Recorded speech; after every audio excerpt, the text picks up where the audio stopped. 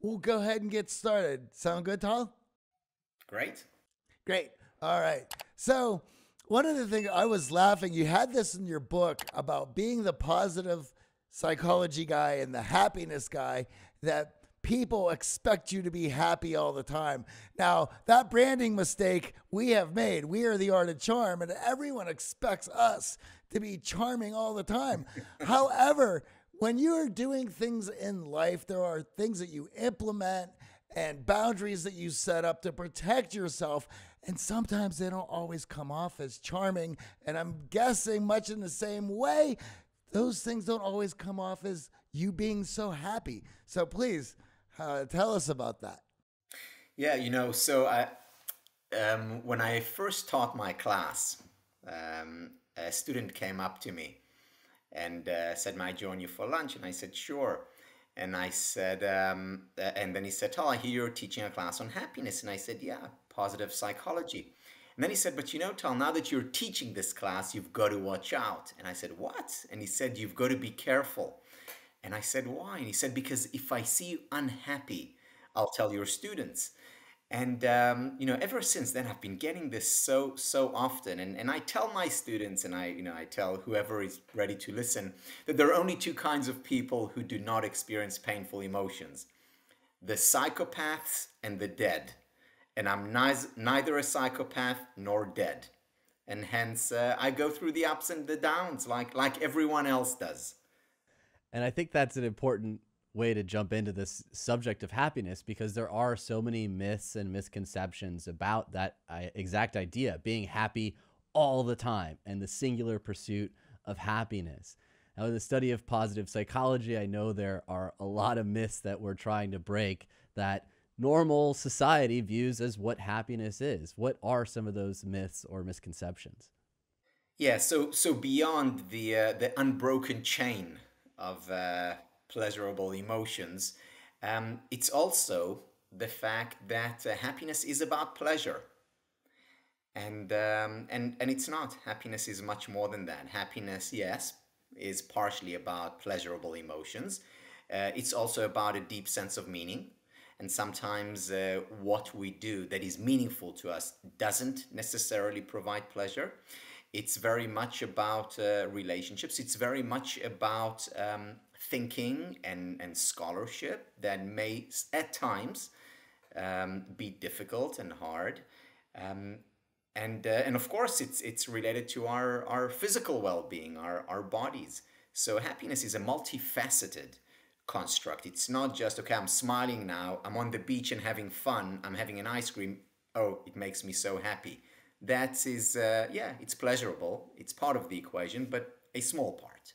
Well, what's interesting is everything you listed also causes me great frustration.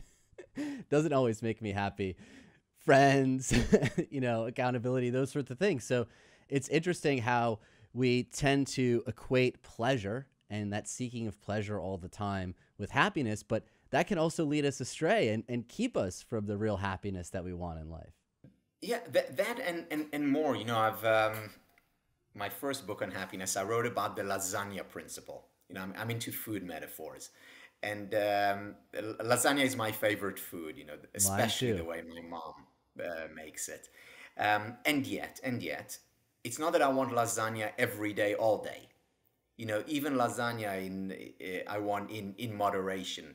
And you know, that's another myth that people think, okay, so I'm going to find that one thing that's going to make me happy, and then I'm going to do it all the time, or that one person who will make that's another myth who will make me happy. And then we're just going to live happily ever after. Um, you know all good all good things as aristotle reminded us in moderation. Well i think the pandemic has shown us that uh, many of the things that we want miss and need we're not even getting in moderation and new challenges have arisen. Johnny and i joined one of your happiness studies academy webinars and, and you talked about some learnings that you had personally around happiness through the pandemic so, what has this last year taught you personally about happiness in your own life?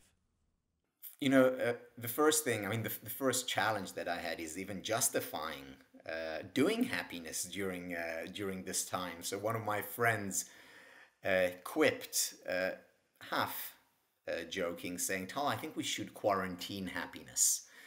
until all this is over. Um, and you know, he, he made a point.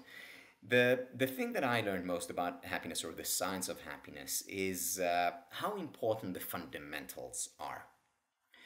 So many people say, so are you doing things differently now or, or what are you doing differently? And, I, and, and my response is that I do the same things, um, but more of them. So, for example, you know, physical exercise, you know, extremely important, not just for physical well-being, for uh, psychological well-being. Uh, you know, in fact, working works in the same way as uh, as our most powerful psychiatric medication. So, I used to exercise three times a week religiously. Uh, today, during over the past year, it's been five times a week. Why? Because I felt like I needed it. You know, I, I, I often when you know when, when I go out for a run for an exercise or my wife does it, we tell one another, well, I'm just going to get my fix, and it actually literally literally works in the same way. It's uh, you know we call it the the wonder drug. So I needed that fix three times a week. Now I'm I upped the quota for to uh, five five times a week. Um, keeping a journal. Um, you know I've, I've I've I've been keeping a journal since I was uh, 14 or so. Um, and um, and I certainly continued uh, keeping a journal into adulthood after I saw the research on journaling and I know how much it helps. But I did it, you know, every two, three weeks when I felt like it. During that pandemic, there isn't a week that goes past without at least one or two entries. Same things, just more of it.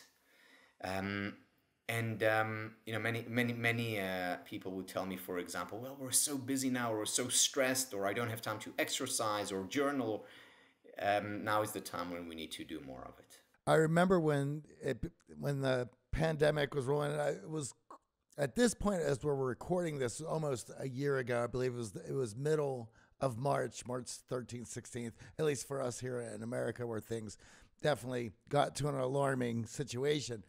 And uh, upon looking at what was coming and so much uncertainty, there was certain habits habits for myself that I knew that I would have to dig into in order to work through that.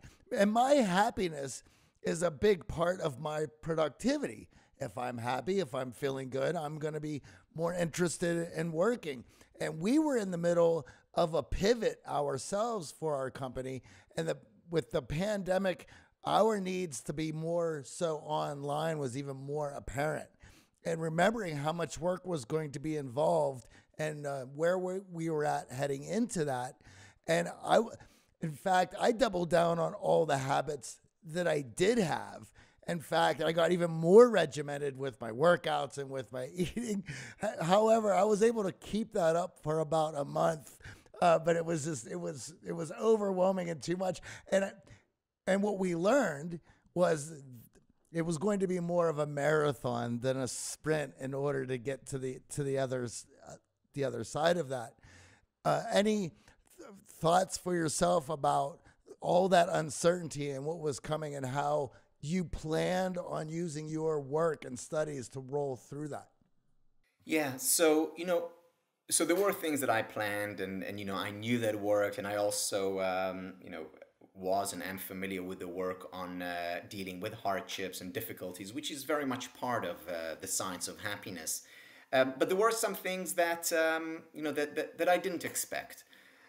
Um, you know, for instance, one thing that I've been doing more of over the, uh, the past year is I've been watching more TV. Now, um, I, I, generally, I, I I didn't switch the TV on much. You know, as far as I was concerned, we wouldn't have had a TV at, at home.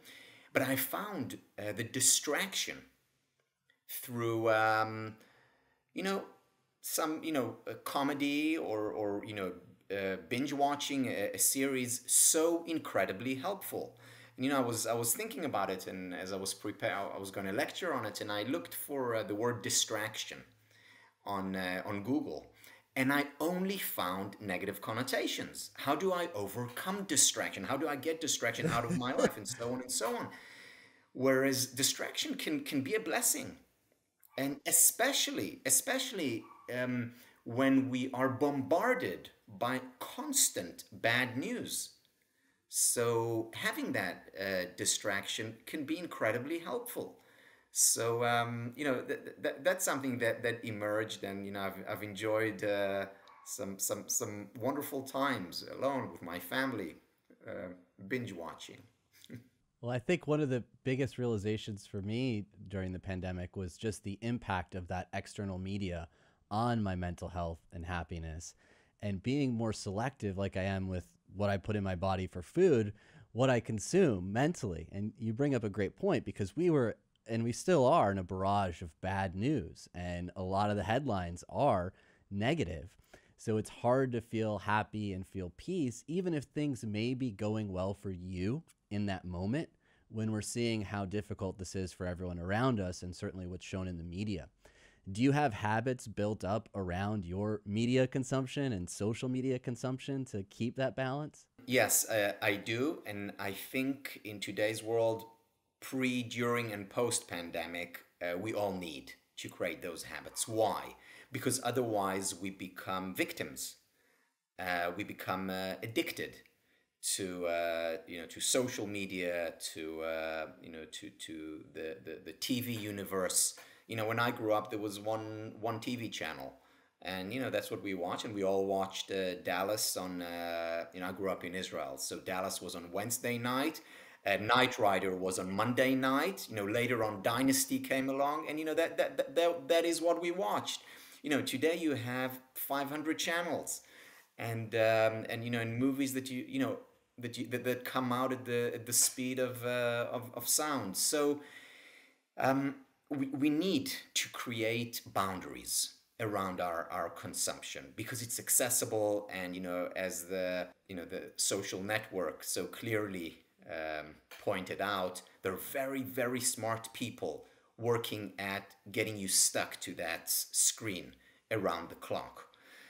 Um, and the only way to um, to deal with that is by creating uh, rituals, healthy rituals, rules, boundaries around it, and preferably not doing it alone. So having an accountability buddy or doing it as a family. You know, one of the uh, one of the questions that I often ask when when, when I speak to uh, couples is the following. I say, okay, so I want you to answer this question to yourself. Don't say it out loud. Um, what is the first thing that you turn to in the morning when you open your eyes? And again, they're sitting next to their partner now. Now, everyone, of course, chuckles because it's not their partner. It's their smartphone that they, that they, most of them turn to. Now, we're addicted to those. And then my second question is, so if you were um, an alcoholic, would you go to bed with a bottle of whiskey right next to you? Of course not. You know, you not. would keep it as far away from you as as, as possible, provided you want to uh, um, deal with your uh, with your alcoholism. And yet, we're addicted to this phone, and we have it next to us in bed. We have to create rituals. We have to, to create boundaries. We have to um, we we have to um, um, make it easier, not easy, but easier for us to to resist the lure of those sirens. And how do you do that in your household? Because many in our audience are cringing, like myself, thinking about how my phone comes first, but that has been a, a difficult boundary to build for, for both of us. So, are there specific strategies you're implementing to create that ritual? Yeah. Um, so the idea essentially is to create what I've come to call islands of sanity. Islands of sanity, both uh, temporally uh, and uh, and in terms of uh, time, so both time and space. Uh, for example, there are certain areas that you don't bring the phone to. You know, it could be your kitchen or your dining hall. So when you are with your partner or friends or, or family, no phones, except for emergencies, of course. Um, or there are certain times. So between, uh, for us, between 4.30 p.m. and 8.30 p.m., there are no screens. You know, the kids can, can, can, can, can jump around. They can do, you know, they can play basketball. They can, uh, they can talk. Um, they can help around the house. Um, they can't be on the computer. So they have to, even, even homework. So they have to do their homework uh, before or after. Um, And the reason we did it was because we tried many other things and they did, just didn't work. Um, why? Because our willpower is just not strong enough to withstand the onslaught of, uh, of, of, of, those sirens. Again, I think there is a beautiful metaphor. And by the way, before we implemented these, uh, um, these uh, rules, um, we read about uh, the sirens from the Odyssey and we had a, a you know a, a conversation uh, around it. Why did Odysseus uh, ask his um, sailors to tie him to the to the mast so that he he wouldn't uh, he wouldn't hurt himself. You know, I'm quite curious with all the studies that you have done and what has been shown as the impact of social media on our happiness and what sort of information could you give our listeners for them to get wise to what's going on because I as much as we talk about this everyone the, that the first wave when they hear anything negative about social media is like it's oh well that's everybody else. That's not me. And it's not until we we give hard numbers that people start actually paying attention so. Yeah. Yeah so a couple of things. First of all you know it is important to uh, also look at the upside of social media. You know for example um, uh, uh, one of my colleagues did research showing that many introverts benefit from uh, from social media because uh, it's an opportunity for them to to be social without the um, the, the, the, the, usual challenges that, that go along with it. Um, also, we meet people through social media. You know, I recently um, uh, got in touch with um, my BFF from uh, well, we were from the age of ten between 10 and 12 and then we moved countries and we hadn't been in touch for uh, almost 40 years. Thanks to social media we're in touch again. You know that's a real real blessing. Um, so there is an upside to it. The thing though is always moderation. How do we how, how do how do we manage that? And we have to manage it. Because you know johnny as as, as uh, you point out we all struggle with it. The research is scary. I'll give you a couple of examples um, so this is Jean uh, Twenge. She's a professor at San Diego. And what she found was that, um, or, or, her research revolves around teenagers. And every five years, we take a measure of um, the mental health of teenagers in the United States. A very extensive uh, uh, study, a deep dive into their well being. And every five years, you see uh, you know, up 1%, down 1%, but generally stable over, over the years and, and, and uh, between generations until this time. Compared to five years ago, levels of depression among teenagers in the US went up by over 30%, 30. Levels of suicide went up by over 30%. Now, she unheard of this spike, unheard of. And she mined through the data, asking the question, why? And came up with one answer. And I quote, the ascendance of the smartphone.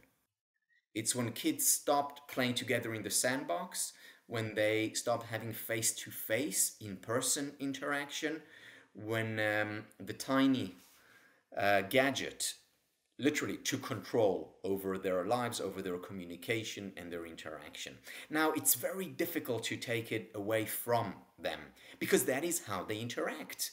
You know, so if I tell my son, you know, no, um, um, no social media for, for a week, that means, you know, he won't know when his friends are going out.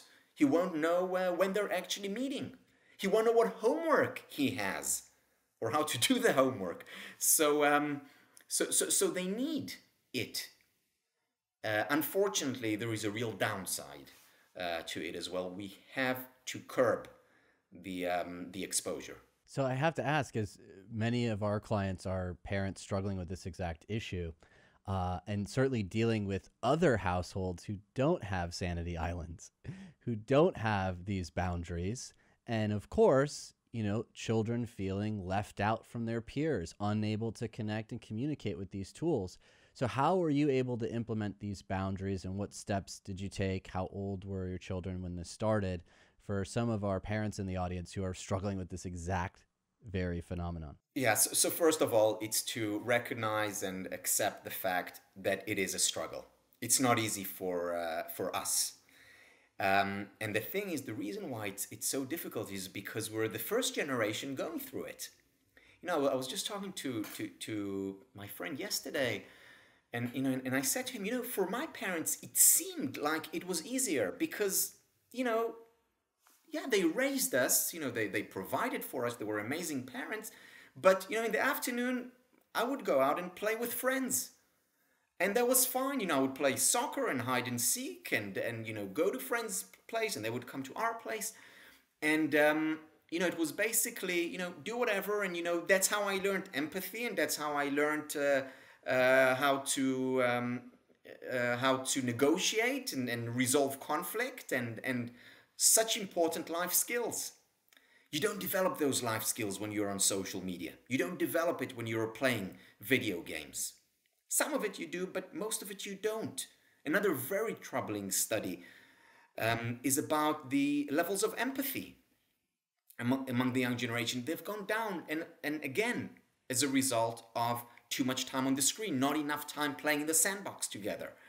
So, um, um, today we're making it up as we go along.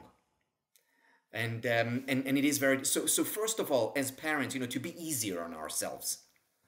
Um, first thing. Second um, just to put boundaries and you know the boundaries have to be whether it's around x number of hours in front of the screen and there are more and more programs today that can limit screen time you know from within uh, the smartphone so utilize those um, and um, another thing, and and this uh, I owe this to my uh, uh, to my brother-in-law.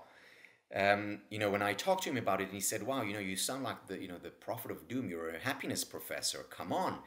And and and then he said, "You know, instead the way I think about it, instead of of of thinking about it in, in terms of what they don't do, think about what they do do. In other words, create alternatives."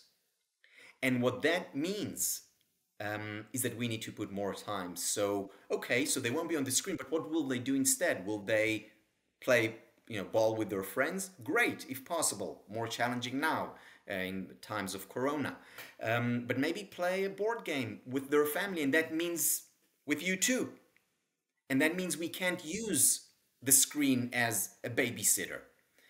Uh, we just need to become uh, more involved and um, and um, you know, the nice thing about it is that as we become more involved, we also uh, potentially find uh, treasures of happiness.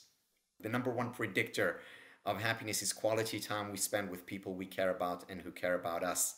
And many of us have forgotten that. It is an incredibly important thing to remember. And when I look into the future, knowing that the next generation has less less empathy, it terrifies me because I know how much and how important empathy has been for us to create what we have created for ourselves. So it makes me a bit nervous. In fact, uh, every time our producer gets a, uh, somebody else who wants to send books, I always make sure that I get a physical copy because I'm so tired. I stare at my screen enough and to be able to close my computer and go on the porch with a with a coffee and, and open a book it is I, I look forward to those moments in in my day just talk about an island of sanity and serenity and and for myself who grew up as, as Gen X, normalcy. You know, the, having the computer open is, is is a work thing. Where kids now, it's it's a mishmash of that's where they play. That is where they're going to be working. That's where they study. Uh, that's an that's an incredibly seems to me to be to be messy with all of those things connected to the same mechanism. Well, what struck me is the need for you to follow your own boundaries and set a good example too. And I think that's also become a challenge in the house for a lot of parents who feel tied to their work and must check Slack and, oh, I have a late night email that I have to get to. We're often setting a poor example for our kids when they're seeing us gravitate to technology instead of talk to our spouse, our partner, or engage with them. Yes, and um, you know, and, and we need to realize how difficult it is to change those habits. Because you're right, most of the homes that I visit uh, or have visited, you know, you see it's not just the kids who are addicted; the parents are equally addicted. You know, we we go out with friends, and and you know, periodically they would check. Uh, now we didn't have smartphones um, 20 years ago, and you know, we managed okay um, and you know, I always say, unless you're an ambulance driver, it's okay to switch the phone off. Um, and um, and initially it's difficult, and after a while, you know, Johnny, I completely uh, relate to what you say. You you begin to to crave those uh, those islands of sanity, or as you said, islands of serenity, uh, which I love. Um, and, um, and and and they're important, and they're important for us as a parents. There is important for us to present as a role model for our for our children. They're important for us physically as well as psychologically. Now, what strikes me is, and, and I'm thinking of my my great uncle who, bless his heart, loves watching TV, but he's happy with the antenna. He's got four channels. He doesn't want cable. He doesn't want all of the choices. And yet here we are with more choice than ever but bored, frustrated, not finding happiness. So, how much does this paradox of choice and overwhelming amounts of options and content actually make us more bored? I, I, find it so fascinating. I'll stare at Netflix for 30 minutes and not pick anything and, and wonder, I have so many options, but here I am sitting on the couch bored. Yeah. You know, um, uh, one of my close friends, her name is uh, uh, Shirley Yuval Yair. She's a child psychologist. She um, um, she she talks about her kids that when they um, when they come to her and say to her, "Mommy, I'm bored," she always responds in the same way, and she says, "That's okay, sweetheart. Just be bored with dignity." And, uh, and and I think that's a very important uh, uh, response. And you know, my kids already today, you know, they they know it off by heart. Okay, Daddy, I'll be bored with dignity, and uh, it's important to learn to be bored for various reasons. Uh, one, and this relies on uh, the work of many psychologists, including uh, Adam Grant, um, who wrote uh, Originals. And um, we need those quote unquote times when we're bored because uh, it's during those times that very often we get our best ideas. You know, it's no coincidence that you know we you know we get in the shower, or we used to. Again, my generation, we used to get it in the car. Today, we're on the phone in the car, so it's not a bored quote unquote time. So having those um, those um, free spaces where we are doing nothing is important. You know, uh, there's so much talk today about quality time for children, quality time. Well, we need um, um, nothing time as well, empty time uh, for our kids. So that's one reason creativity, originality. Um, there's another reason which is uh, uh, which relates uh, AJ to what you said about you know Netflix and the the paradox of choice, um, and that is how um, sensitive uh, we are versus how desensitized we are to stimulation. You know, if I have um, you know 500 channels, if I have the option of just about every movie that was ever created literally at my fingertips, um, then uh, I'm not going to uh, appreciate, you know, a, a, good movie as much. Or when I watch a movie, I'm going to think of all the uh, counterfactuals, meaning of all the movies I'm not watching while I'm watching this. That could be better because I'm not having a perfect experience. I'm having a good, but, but it's not perfect, and it should be perfect because what excuse do I have for it not being perfect, having so much choice? Um, and um, so, and if I constantly have more stimulation, more stimulation, more stimulation, it becomes less interesting. It becomes less exciting. You know, I think about you know kids raised in the uh, you know 19th century. You know, for them the highlight of the day was sitting with their family, you know, around the table and, and maybe reading a book together. You know, today boring. Why? Because it doesn't. It's not in 3D and. Uh, you know, and it's not changing every seven seconds and it doesn't have sound effects. Yeah, I certainly relate to that in in the situation, especially where you are craving so much stimulation that nothing can actually solve that craving for you. And you end up watching a few minutes and losing interest and then grabbing the iPad and going back to the device. And yet we're seeing more and more with social media that it our attention span is shrinking. It's like you got to hit them in 10 seconds. You got to hit them in 5 seconds. They're already gone in 3 seconds. Is that hurting our psyche mentally and impacting our happiness? It's hurting our psyche, it's hurting our happiness, it's hurting our relationships. Um, you know, I want to go off a little bit on a, on a tangent, which is which is very much related to to what you said, and it's also connected, Johnny, to to your um, focus on empathy. Um, one of the things that I talk about a lot for happiness is uh, intellectual well-being, and specifically under intellectual well-being, I focus on deep learning. Um, deep learning in, in, in the sense of, you know, getting into a book and reading and rereading a, a, a chapter or a paragraph. Uh, you know, the, the, the first course that I took as an undergraduate in college was a course that was offered during freshman week. So that's even before the official semester started. It was a course on speed reading. And uh, it's a, it was a great course, you know, increased my reading speed. But I think more and more today that a an even more important course would have been on slow reading. Why? Because um, today, as you pointed out, every five seconds, every three seconds, you know, we need a new stimulation because that's what we're used to. You know, we hardly spend any time on a web page. You know, when kids today watch uh, my childhood uh, movies or TV shows, it's too slow for them because there is only one screen because you it's one shot for uh, you know two minutes. You know, Mr. Rogers, it's hardly moving. You know, it's in slow mo. Uh, it, it reminds me, you know, many of my students say, you know, when we watch you on, on video, we play you at 1.5, sometimes 1.75. You know, I try not to take that too hard.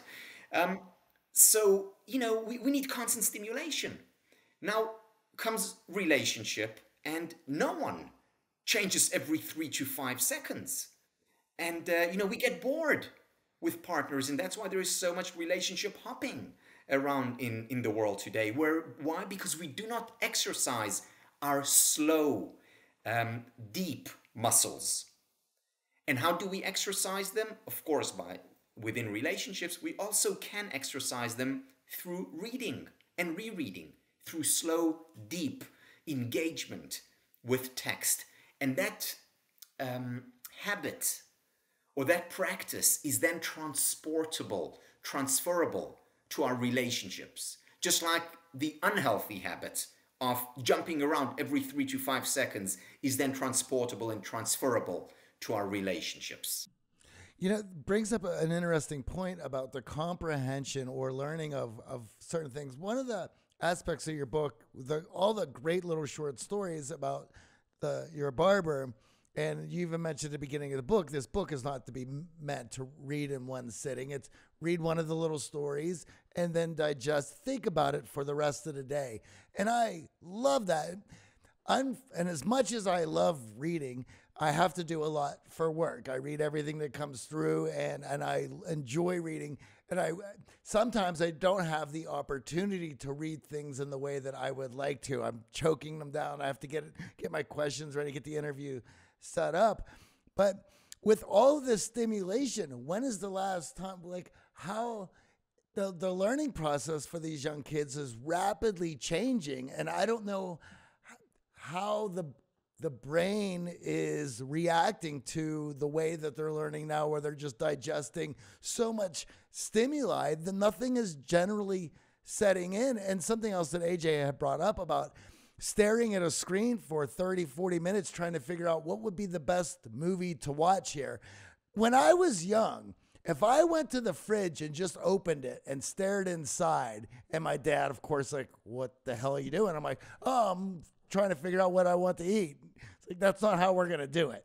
You think about what you're going to eat, and then you go into the fridge, you pull it out. You just don't stand in front of it. And I think we have to adopt a bit of that same mindset before going to Netflix. It's like you're going to think about what you want. You're going to look at a couple choices. You're going to look, and you're going to take it. if you don't like it, you should still, there's an appreciation that you should find in it and derive some sort of value out of it. So you're just not getting antsy and, and figuring I need to be stimulated in one way. And if I'm not stimulated in that one very way, I'm on to the, the next thing. Uh, it's changing how we take in information so fast. Yeah, and you know, I think Johnny, what, what we need to do here, and, and this is also the the advice of uh, of Barry Schwartz of the uh, the um, the tyranny or the paradox of choice, is that we need to um, accept the good enough satisfice in uh, in in his words, and um, and it has to do with um, with uh, expectations where have, have my, has my understanding of happiness changed over the years? One of those places is around expectations. You know, I used to think that uh, uh, having high expectations, uh, having greater expectations is great, is the way to go. And today, I still think that it's partially true, partially with a, with a significant caveat. Uh, specifically, when it comes to expectations in terms of uh, you know our success or for me as a teacher of my students or, or as a parent yeah i want to have uh, high expectations but when it comes to uh, happiness or joy or pleasure instead of having high expectations we need to have realistic expectations let me give just a couple of examples so if i have a night off and, uh, and you know and i come home and i'm in front of my netflix and i say wow it's a night off i can watch anything that i want it's going to be amazing. I'm bound to be disappointed because I'm going to start watching something and then it's it's not going to live up to my expectations, of course, because they're extremely high.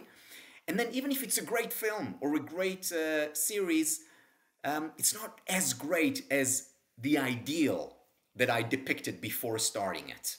It's never going to meet that ideal. So I'm going to be disappointed and not enjoy a potentially enjoyable uh, movie.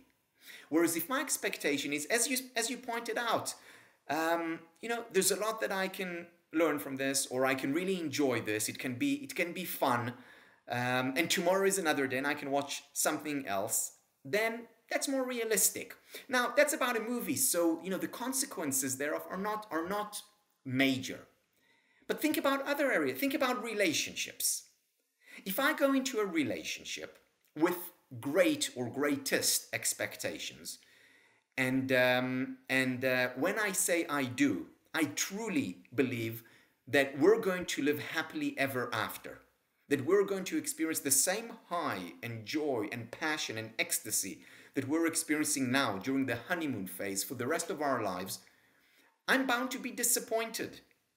These are unrealistic, high, unrealistic expectations. We need realistic expectations, such as in every relationship there are ups and downs, even in the best of them. There are difficulties and hardships, and it's natural, and we're going to go through these hardships and grow from them, and we're going to rejoice in the in, in, in the in the positive uh, moments and experiences. Having realistic uh, expectations, whether it's of the food in the fridge, the uh, the film or Netflix, or our beloved. Now, one of the things that I recognize in the participants in the Happiness Studies Academy is that they want to help others find happiness. But that is often so difficult. So you learn all this great science around happiness, you make changes in your life, and you're feeling better. But your partner, your friend, your children are not happy. You know, what advice do you have for those of us who want to give the gift of happiness when someone in our life is maybe not feeling unhappy? Is there a strategy that actually works, or are there some things we should avoid completely? Yeah, you know, let, let me start with the things that we should avoid completely. So if, if I'm feeling great and, and I'm happy, um, we shouldn't go up to them and say, look, you should do what I'm doing. Look how happy I am. That will probably not work. Um, so to be sensitive to where they are rather to where we are. Um, now, in terms of helping uh, other people, so you know the, the the most important thing that we can do is to be there for them, meaning to listen. Um, you know, listening is uh, is um, is uh, an it's well, there's a lot of science behind it, but it's it's it's an art and it's underrated.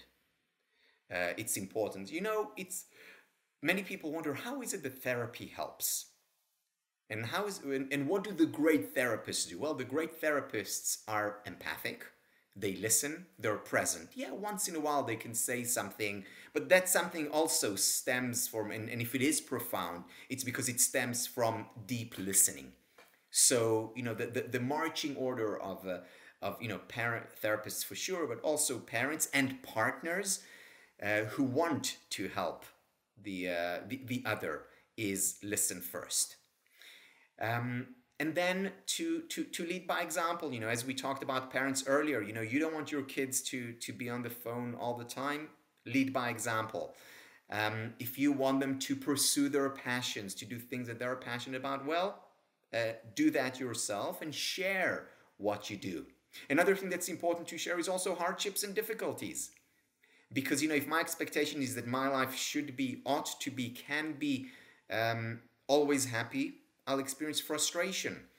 However, if I know that part and parcel of every life, including my parents' life, or including my partner's life, or my best friend's life, um, there's also hardship there, then I will be more likely to give myself the permission to to experience that. So um, leading by by example. I think that's so powerful in that when we're bringing ourselves up and having that happiness that we are willing to share by listening to others and not talking about ourselves, but actually investing the time in that relationship and the patience and the empathy to realize that there are times, and as we've seen in this pandemic, where you might be high, your spouse might be low, and sometimes the roles are reversed. Many of us want to take action, right? We're so focused on what can I do when in actuality it's more of the passive. It's how can I not focus on myself, be there fully to support my partner, my friend, my family member. Yeah. And we, what we are also doing there when we're there for them is we're allowing um, nature to take its course. You know, painful emotions, uh, uh, difficulties, and hardships, um, they play a very important role in, in our life when you look at, at, at our life as a whole. You know, that's how we grow stronger. That's how we learn. That's how we, um, we that's how we develop. You know, if you go to the gym and um, you set all the the the the, the weights there on zero and everything is very easy for you. In other words, there's no resistance. You're not going to get stronger. Uh, you're not going to grow. It's when you have resistance that you grow, and that applies on the physical level. It also applies on the psychological level. Now, some of the advice you see online is to cut negative people out of your life and to only surround yourself with positive, happy people. But odds are, not everyone around you is going to be happy 24 7. Is there a time or a place where removing that negative person from your life is the right path versus being there to support that person who might be going through a difficult moment? Um, Look, I mean, the thing is that we, we, we do actually need a mix of people. If you were only around people who are positive and happy all the time, guaranteed you'd become depressed. You'd why? Because you'd feel uh, left out. You'd feel inadequate. You'd feel like there's something wrong with you. So um, um, we we do also need uh, some negativity around us, as you know, as difficult uh, or as uh, um, counterintuitive as, as that may sound, you know, there is a, a terrible uh, word in, in German, Schadenfreude. You know, and Schadenfreude is, you know, reveling in others' misfortune. Um, but Schadenfreude, uh, to my mind, um, tries to include too much in it. Because actually, uh, being witness to uh, other people's hardship does have an important value. And the value is simply the feeling that I'm not alone. It's not reveling in their misfortune. It's recognizing that I'm not the only one who's struggling, who is experiencing some misfortune. Um, and that's and that's important. And it's important because it's true. Because everyone hurts sometimes.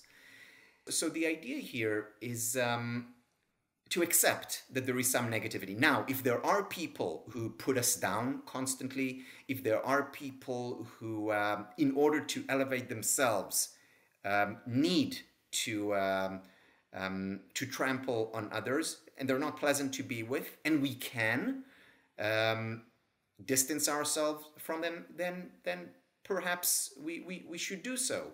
Uh, but sometimes it's not realistic, and sometimes they have uh, other characteristics that we do appreciate um, and um, and desire. So you know we we have to make the decision uh, for ourselves. Am I against um, distancing ourselves from some people? Um, no, I think sometimes it's uh, necessary, important, and and and and and a good thing to do. But uh, very often it's not possible or overall desirable. You know, you mentioned something that I, I love, and not everybody is going to be an agreeable, positive, happy person. And you wouldn't want everyone being so agreeable and positive around you at, at all times. I think it would drive you a bit crazy. But the the idea and where do people conflate the idea that being disagreeable means that you're an unhappy person. I know plenty of disagreeable people who are generally happy people. In fact, it's their disagreeableness that allows them to build up some some walls so that they can be happy. Um, it, it's it's bizarre, but I, I, see it linked all the time. Yeah, you know, um, the idea of uh, disagreeableness or you know a person who doesn't agree with uh, with us uh, all the time is actually a very important uh, part of friendship. You know, one of um, to my mind the most beautiful uh, pieces ever written on friendship is uh, by Ralph Waldo Emerson. And uh, Ralph Waldo Emerson in the 1830s um, wrote in his essay on friendship the following. He said, In a friend, I'm not looking for a mush of concessions, a person who will agree with everything that I say. Rather, what I'm looking for is a beautiful enemy who will help me, challenge me in my apprenticeship to the truth. Um, so sometimes those disagreeable ones are our beautiful enemies. And uh, again, just like in the gym, we sometimes need that resistance uh, to grow also with friendship, disagreeableness may be, may be a virtue. Well, it's that different perspective that puts you in a position where you start to rethink yours to see if there's anything that is going on with somebody who's so steadfast in thinking in another way. It's, it's fantastic. Well, I think Johnny and I can agree that I'm the enemy, but we maybe disagree about how beautiful I am. So we're working on that in our own friendship. You know, one of the things that we see online now and is trending that I'd love to get your perspective on is this idea of toxic positivity. When there's too much positivity. And I know many people equate positive psychology with just the pursuit of positivity 24 7. We've sort of touched on this a little bit, but what are your thoughts around toxic positivity? You know, whenever I talk about uh, happiness or positive psychology, I always start by talking about the role of painful emotions. And notice I don't call them negative emotions because with negativity, there's already a value judgment there. I always begin by talking about the role of sadness or anger or anxiety or envy or hatred and how they're part and parcel of every life, including by default of a happy life. And that's important to emphasize uh, precisely because of what you pointed to, AJ. And um, many positive psychologists are on this. And you know the the um, you know the motto is um, you know smile all the time, or uh, don't worry, be happy, or um, or um, eliminate negative emotions.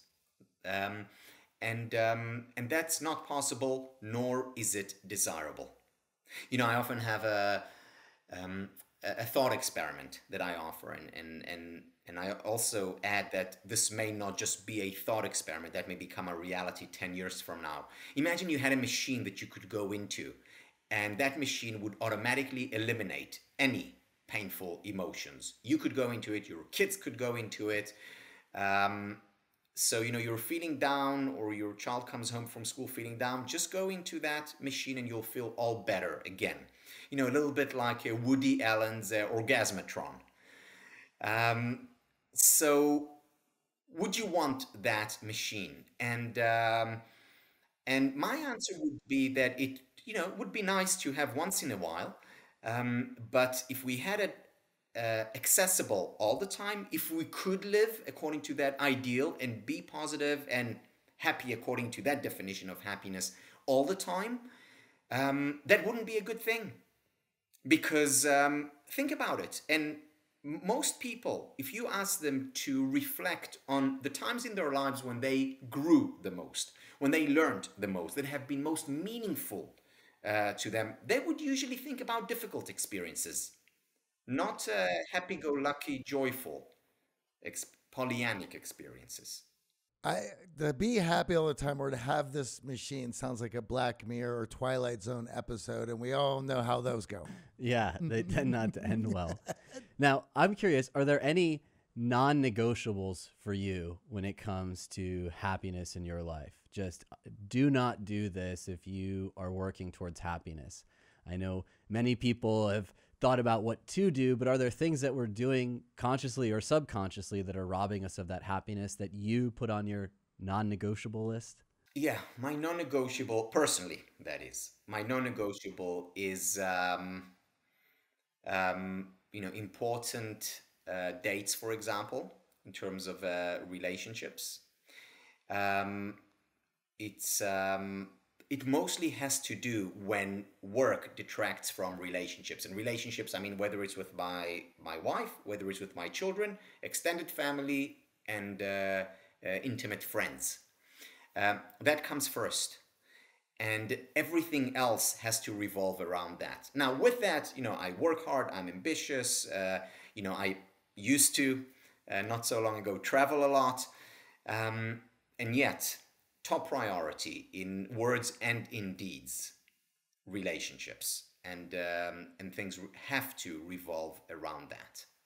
I think it's so important. It's why we do this show to help others have better relationships in their life by working on themselves but also showing up in a more impactful way.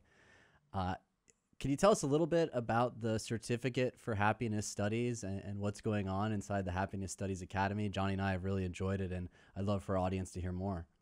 Uh, sure. So um, I co founded the Happiness Studies Academy uh, in order to help um, uh, our students, our participants, um, answer two questions.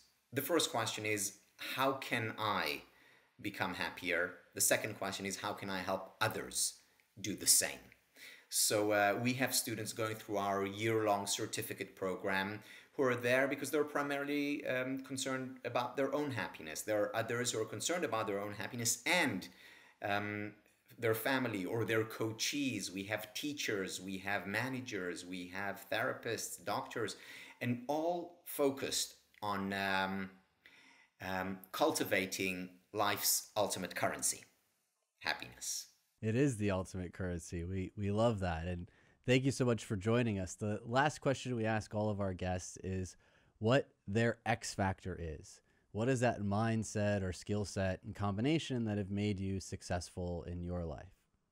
Uh, hard work, uh, dedication. I know it's not a, a very creative or, or, or novel uh, idea here, uh, but you know, as uh, Jefferson reportedly say, the harder I work, the luckier I get. I'm a big believer in uh, in hard work, old school. We are too, and oftentimes that's not what we're seeing in social media and how difficult life is. So it's great to hear from successful people how much work they're putting in to be successful. Thank you again for joining us, Tal. It's great. Thank you. Thank you, AJ. Thank you, Johnny. Thank you for being so charming. we're a work in progress. Thank you.